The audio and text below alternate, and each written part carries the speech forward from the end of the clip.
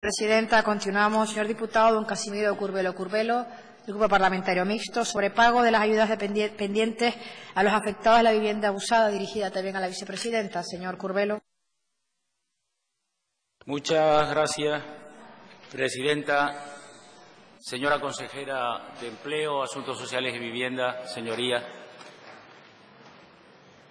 Curbero, le paro el tiempo porque, Sí, no, es que porque tenía que parárselo. Estaba, hablando, era Ya, para- por eso, por eso mismo le he parado el tiempo, para Bien. que usted pueda dedicarle la atención que merece, señor Curbelo, cuando Muchas quiera. gracias.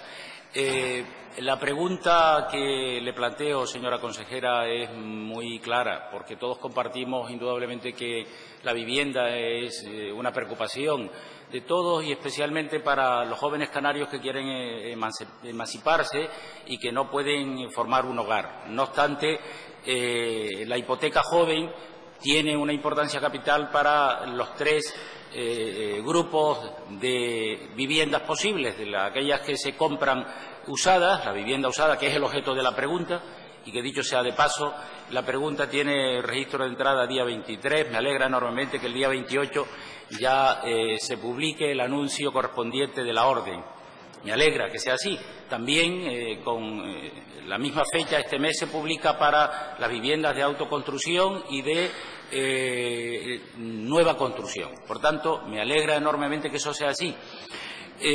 Pero yo creo que mm, el, anuncio que se publica para las viviendas que en este momento existen en el archipiélago, viviendas usadas y que tienen derecho a la misma, son del orden de 1.970 y pico, que están pendientes del plan de viviendas del año 2009-2012, siete años después. Yo creo que es importante. Mire, y eh, los recursos que destina su eh, consejería son de 350.000 euros.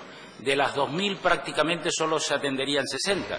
Y me parece que eh, es razonable que yo hoy eh, le plantee que es conveniente incrementar esos recursos incrementar los recursos de una parte y de otra, como quiera que solo hay diez días hábiles para poder solicitar eh, eh, el derecho que le asiste a la gente que lo pueda hacer, yo le pido que incremente los recursos y además que el plazo también lo pueda, incrementar para cumplir los compromisos con este colectivo tan importante y que lógicamente usted conoce perfectamente porque se ha reunido con ellos y sabe que tiene un compromiso que hay que cumplir. Muchas gracias.